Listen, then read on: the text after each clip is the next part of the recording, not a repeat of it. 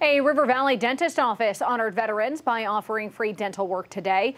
5 News reporter Catherine Gilker tells us why the dentist does this and how grateful veterans are. For the eighth year in a row, Van Buren Family Dentistry spent Veterans Day doing free dental work on those who have served our country.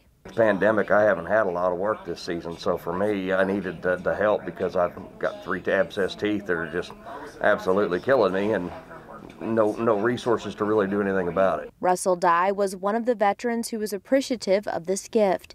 He says he started his service in the ROTC at Van Buren High School, then spent eight years in the Marine Corps and then the reserves. Um, veterans are very well respected around here. Uh, it seems like the community reaches out a lot to, to give us a hand.